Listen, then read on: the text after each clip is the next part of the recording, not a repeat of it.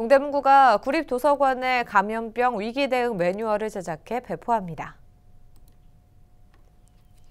코로나19와 같은 감염병 확산 시 도서관 직원과 이용자를 보호하고 장기 휴관으로 인한 주민 불편 해소를 목표로 감염병 유행 시 위험도 분류 체계에 맞는 단계별 운영 기준, 제한 운영에 따른 도서관 운영 방안, 준비 사항, 감염병 관련 각종 정보 지침 등이 담길 예정입니다.